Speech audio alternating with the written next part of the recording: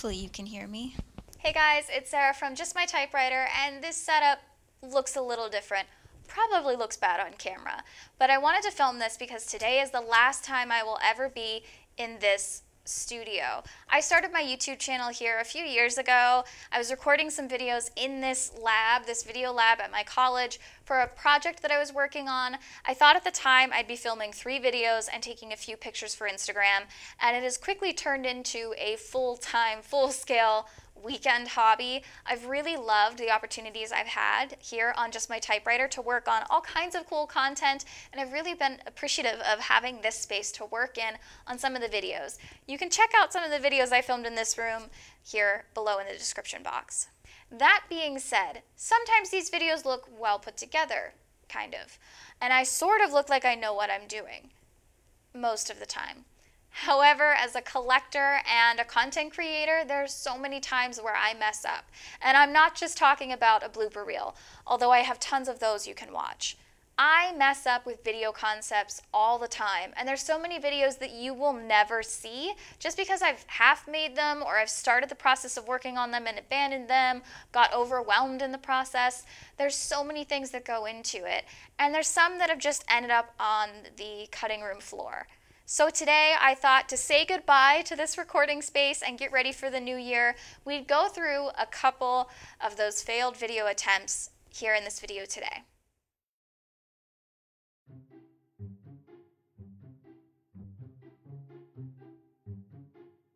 So today's the day where you are going to become a different color. So uh, that'll be interesting. So I have some supplies to get the bottom off. This is my typewriter tool bag tour. Obviously very well put together and scientific. So here she is, Jan. Sears Celebrity Power 12 1968 typewriter. I got her for free. She was just left in a closet in the building I work at. Nobody claimed her, so I just kind of took her. We've torn her apart in a couple of videos, uh, but today I think she needs a facelift. This is the case, and I think I just want to clean up the case a little bit too. Just scrub it down with some Lysol or some Simple Green just to clean it up a little bit. I think I am going to be selling Jan, the typewriter, and I want her to be all spiffy and new so that somebody is really interested in taking her home. She has this gray bottom to her, which is the original paint. I think it's pretty, but it's also not the most exciting color. She's kind of like two-tone gray. So I think if I paint it a different color, it might be more enticing. And this is also a metal bottom. So I think I can paint that with Rust-Oleum paint and it'll last just as long. I don't want to ruin her. I just want to increase her value and sometimes typewriters just need a little facelift for non-typewriter people to appreciate them. So this is the bottom and I can take this off by just getting rid of some of these screws. It's been a while since I've done this, but I know I can. I do need to cover up things like this made in the USA decal, the sticker on the bottom with all the information, and obviously the low to high. I don't want to get those messed up and I might have to paint around those separately.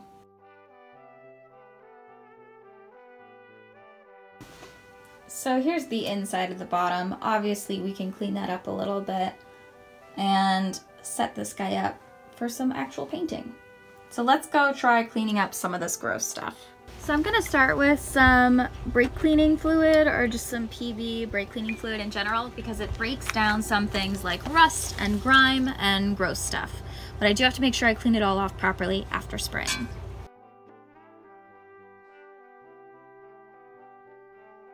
Now let's try drying it off with an air compressor.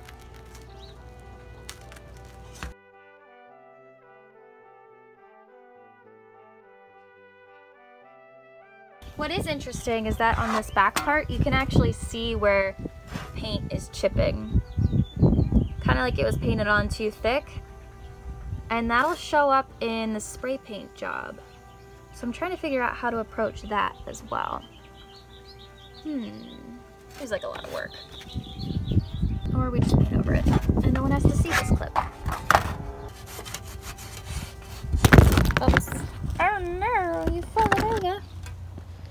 You're gonna be covered in simple green when this is over. There are some decals on here that I want to protect during the spray paint job, including some of these other paint things that I'm to have to figure out how to fix later. But for now, I can spray paint around them to save them. So I do have some painter's tape, and I'm just to cover those guys up. I'm having a bit of a crisis. Oh my goodness. Ugh. having a bit of a crisis of conscience, conscience? Because once you spray paint it, you can't go back but I know I want to do this. I know it's the right thing for the typewriter, especially to sell it in my area. I just feel really bad about it. But only because I haven't done it yet, and I'm just waiting for myself to mess it up. So let's give it a try.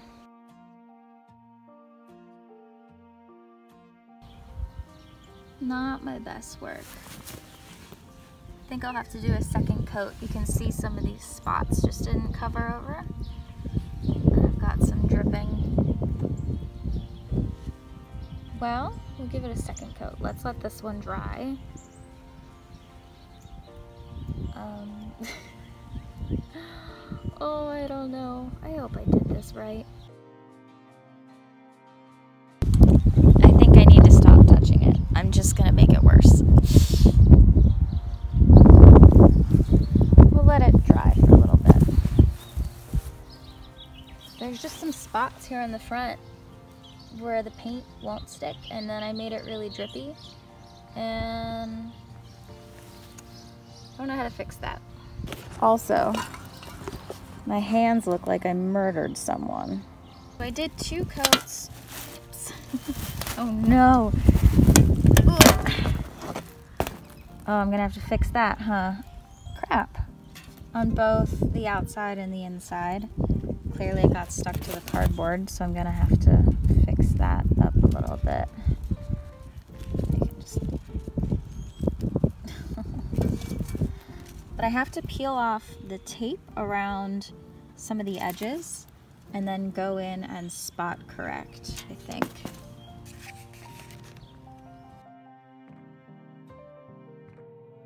The other thing I want to do is really clean up the case. As you can see, it's kind of dusty, just kind of dirty. Same on the inside.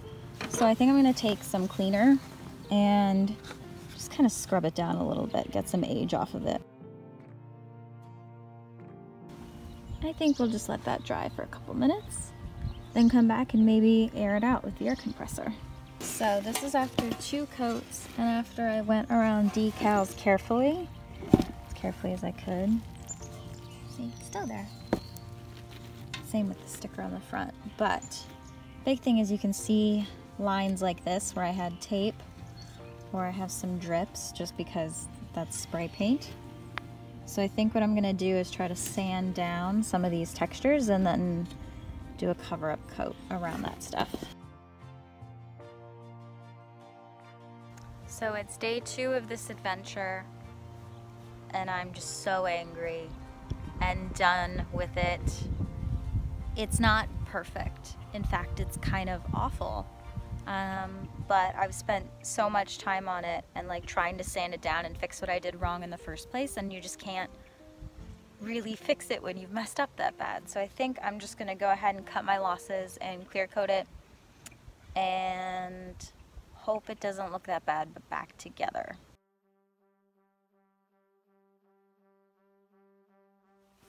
So I've taken an air compressor to it and tried to blow out all the gross peelies so I'm going to simple green it down, put the ribbon back, and then attach the bottom.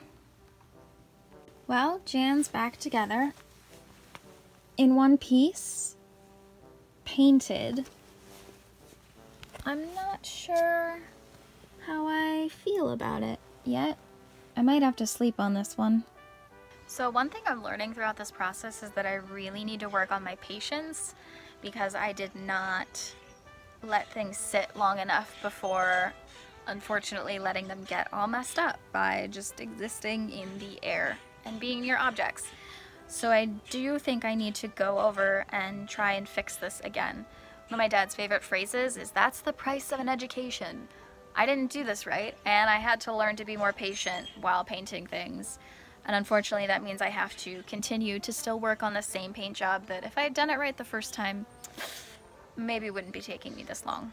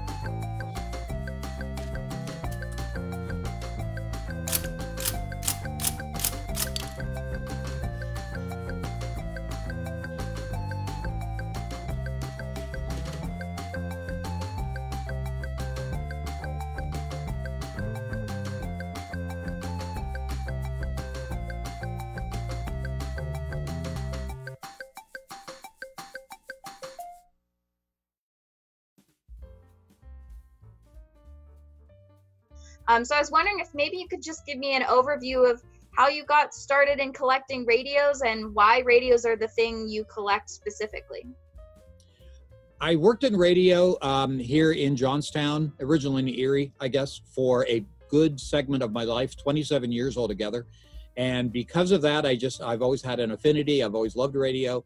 Uh, radio's not that old of a medium, you know, it's just about 100 years old. So I can kind of say that I've worked in radio for a third of the time the, the whole industry has been in existence, you know. And very early on, I thought old radios were cool. I was always fascinated by the uh, the old radio shows. You know, the idea that um, until we got out of World War II, all radio was live. So all the old, uh, you know, everything from Superman to Dick Tracy and you know detective shows and game shows and variety shows, all that stuff was live. And it was amazing to think that there was this box sitting on your, um, you know, table in the kitchen or in the dining room or whatever, and people would just turn the knob and they would hear live programming from New York or California or during the war. It might have been in uh, you know from Germany or from France or from England and things like that. And so that it was all live and that always fascinated me. So I, I can't tell you the first one I ever bought but I'm, I'm sure it was probably at like a garage sale or you know someplace like that where I saw one and I said oh cool look at this old radio and I bought it, and that just kind of started the trend. I, I just kept on buying them after that. I want to say I think I have about 30 altogether, so that's not a lot, but I have three of the large style stand up ones. Uh, and there's there's a couple of fun stories attached with with those, and then the rest of them are almost all the tabletop variety uh, that that you would have maybe during the war years and in the 50s and things like that. And I have a couple of the cathedral dome variety, like the one you see behind me.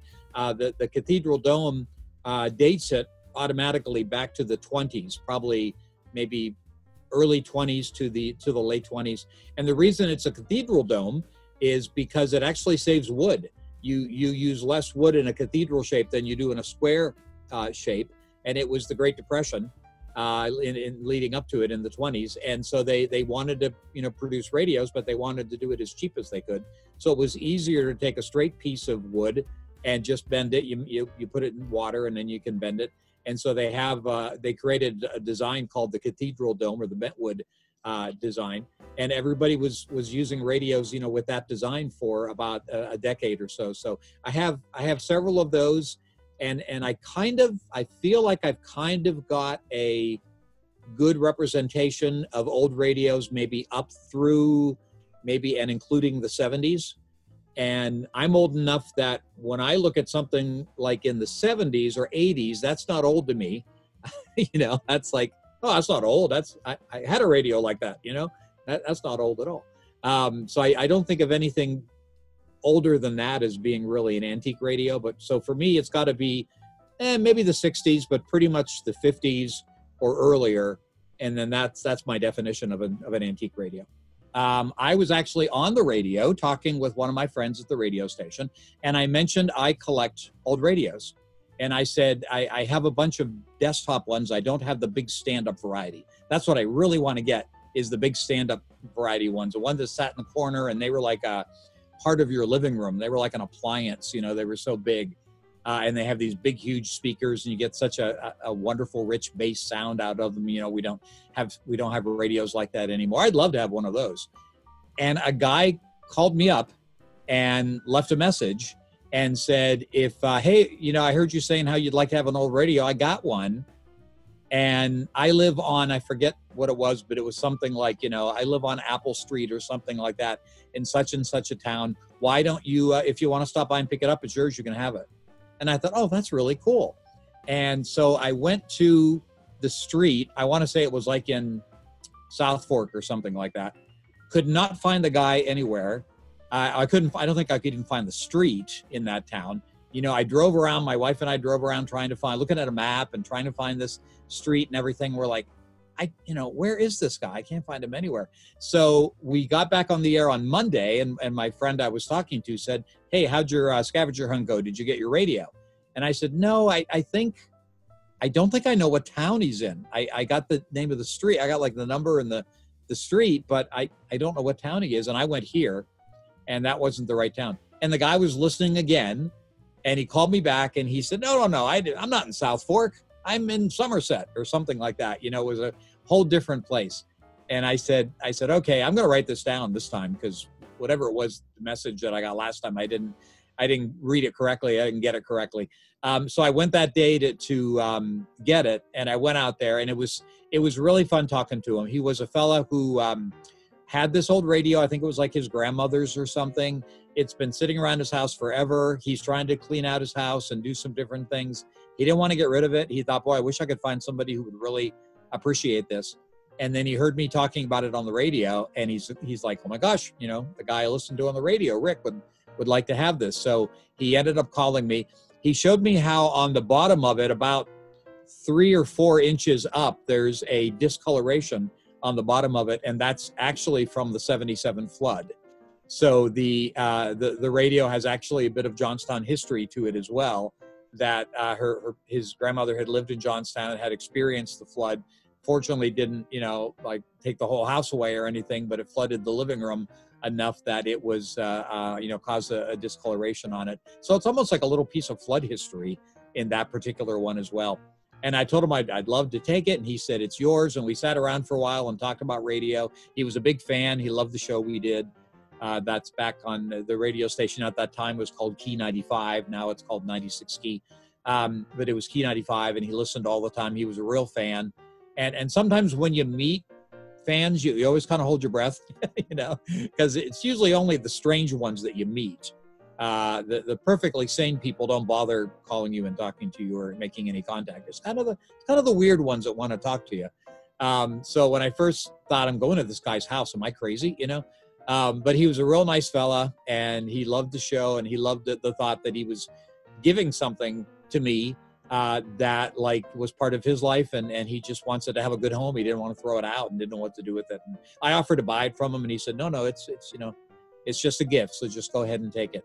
So of all the ones that that I've gotten from one uh, place or another, I have I have a few other ones that that friends picked up for me or my relatives picked up for me. But of all the ones I've gotten, that was kind of the one that that is the uh, the one I remember the most, the, the one that had the most fun of a journey uh, getting to me. All the rest are pretty much garage sales and uh, you know good goodwill or some different places like that. Somebody has a friend that has an old radio and they pass it along to me.